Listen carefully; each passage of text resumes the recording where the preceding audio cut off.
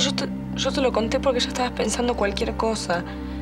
Pero, pero quiero que te quedes tranquilo porque son los primeros análisis, tenemos que tener los resultados todavía. ¿eh? Además hay, hay un montón de tratamientos ahora. Ya, ya no es como antes, ahora son muy eficaces.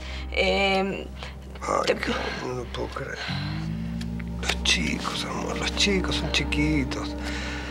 Me necesitan. Y además, ¿por qué ahora? ¿Pero cómo ahora? Ahora justo que estoy haciendo lo que quiero en mi vida. Esto no es justo. Que nosotros dos estamos bien. Justo ahora. No lo puedo creer. No, esto no- los chicos, Dios. Ay, los chicos, ¿qué va a pasar con ellos? No, no, pará, no hables así como si todo estuviera perdido. Pará. Todavía, to- todavía faltan análisis. Además, no estás solo en esto. Yo estoy con vos, ¿sabes? Y te amo.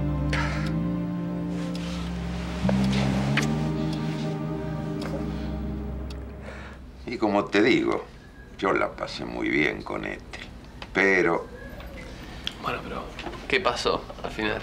Cuénteme, Ciro. y qué sé yo, con Luis es otra cosa, ¿viste? Es otro sentimiento, aunque Ethel es una gran mujer, lo reconozco. Sí, sí, sí. sí. Yo no sé si vos podés entenderme, porque vos sos muy pichoncito todavía. Sí, no, pero algo, algo entiendo. Usted dice que con Luisa la cosa es más, más de corazón y con Ethel más carnal. ¿Eso? Eh, eh, estuviste cerca. Y lo peor que después del asunto, tuve que ir a verla justamente a Luisa, ¿viste? Para darle el dinero para los gastos de la casa. Claro. Y te juro que me salió con algo que me dejó pasmado. Claro, bueno, sí, lo, lo de Valentín, me imagino. Sí, entre otras cosas. Ahora, ¿qué altura tiene esa mujer? eh? Luisa es increíble. Es una mujer con mayúscula. ¿Qué altura para enfrentar la circunstancia? Porque ella se tuvo que aguantar el accidente de Valentín solita. Y ahí la tenés, de nuevo a pie firme, dispuesta a enfrentar la vida con el trabajo. Hmm. ¿Qué me contás? No sé, Ciro, igual eh, no- Luisa no es una santita, ¿eh? Está saliendo con, con, con Atilio, usted lo sabe. Así que no la ponga en ese lugar. Y este es el gancho, ¿ves? Ahí, es un golpe ascendente, o sea, como dice la palabra, de abajo hacia arriba, cortito. A ver, vamos. queda acá, ¿no? Es. Eh, con eso es un gancho y le vas enganchando. Mira qué bien. Hola, eso. Ahí, ¿Valentín? ¿Valentín? Hola. Hola. Toma, ¿Qué haces? son los papeles del seguro para vos. Ah, joya. A ver, ¿arreglaron todo bien? Más o menos. Tuvimos que decirles que te accidentaste. Muy bien, me van a agarrar todo entonces. Mira, yo quería hablar con vos. No, no, no tiene nada que ver con trabajo, es otra cosa. Habla, ¿qué pasa? Me enteré en la casa de Tito que Ciro está muy mal por vos. ¿Por mí? Sí, porque están peleados. No, habrás escuchado mal, Camila, porque nada que ver, todo lo contrario. Si me vino a visitar al hospital y, y medio que nos amigamos. Bueno, no sé. A Tito, Ciro le dijo que él piensa que vos te olvidaste de lo que hablaron. Pero qué cagada, si es... Nada que ver, al revés. Y yo lo único que le dije fue que, que nada, que íbamos a necesitar un poco de tiempo para las cosas vuelvan a ser como antes. Nada más. Te expresaste mal entonces, porque entendió cualquier cosa. Qué cagada. Ah, pues yo estoy preocupado por ahí, ¿viste? Porque mi vieja está con otro chabón y... Bueno, qué sé yo, yo pienso se lo tengo que contar, ¿o no? Sí. Sí, eso está muy bien como para que te acerques a él.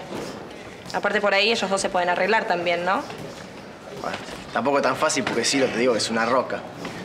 Valentín, ¿por qué no te olvidas de tu orgullo?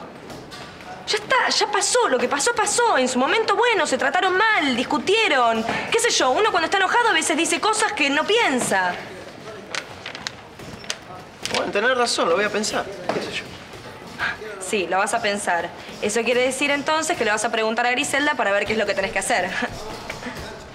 ¿Qué te pasa, pendeja? ¿Qué haces? ¿A qué me estás gastando? ¿Me estás delirando? Ay, Valentín, si Griselda te maneja como quiere, te maneja como un títere, todos lo sabemos. Así que si realmente te importa Ciro, bueno, entonces anda, habla sinceramente. Demostrá que sos un hombre. Sí, que soy un chico difícil de entender. Que siempre te digo que siempre me río de lo que pensás y no me hago problemas y todo está mal.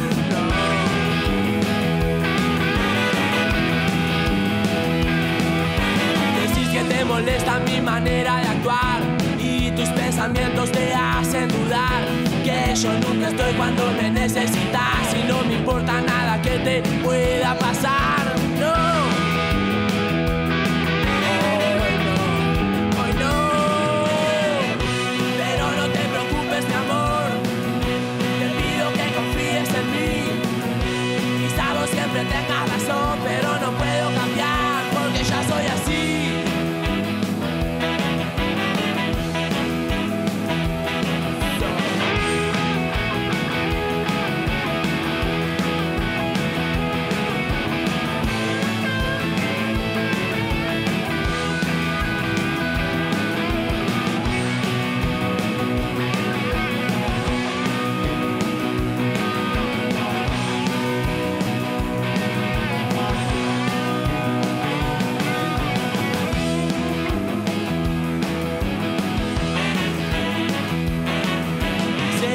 soy un chico difícil de entender, que siempre te digo que está todo bien, que siempre me río de...